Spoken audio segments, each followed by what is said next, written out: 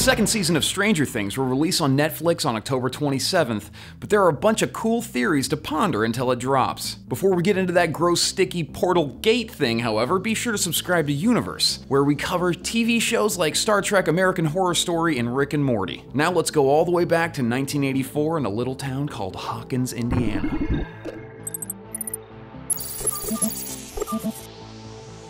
In the seventh episode of the first season, the Demogorgon finds Will's Fort Byers hideout in the Upside Down. In the next episode, he is found and returned to the real world by his mother and Hopper. Some fans theorize that the Will that they brought back was an upside down facsimile of Will Byers, either evil himself or just destined to unknowingly puke up monsters for all of his earthly days. Which brings up my next fan theory. Some fans think that the gross monster stuff that Will is coughing up will go down into the water supply for the region and cause some issues, including the crop devastation we see in the Season 2 trailer, possibly spawning more Demogorg. Is that plural for Demogorgon?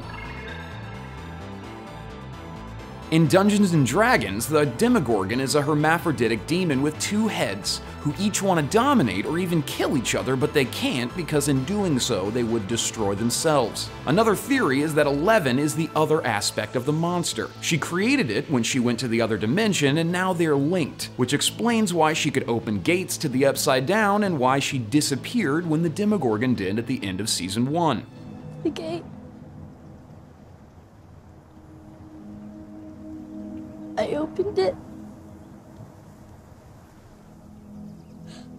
I'm the monster.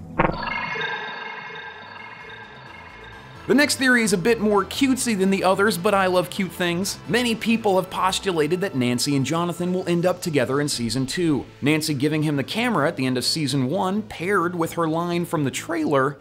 Really seem to hang out when the world's about to end. Seems like it would be an easy move for her and definitely what Jonathan wanted all along. Hopper getting into the black car with obvious government agents had everyone wondering what exactly the heck was going on. His past is definitely still to be explored further, but he has been referred to previously as a big city cop. Was Hopper actually a government agent and now he's just signing back up after the extra dimensional events of season 1?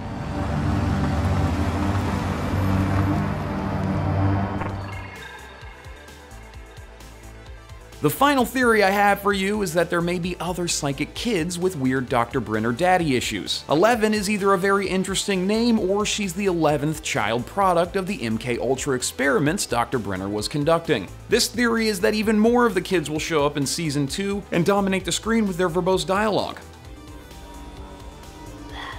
The internet is full of tons more theories, so let me know what you guys think in the comments or tell me on Twitter at Buddy Hutton.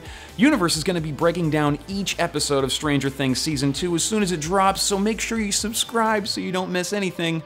Thank you guys so much for watching. I love you. Brought to you by The Evil Within 2. The Evil Within 2, available now.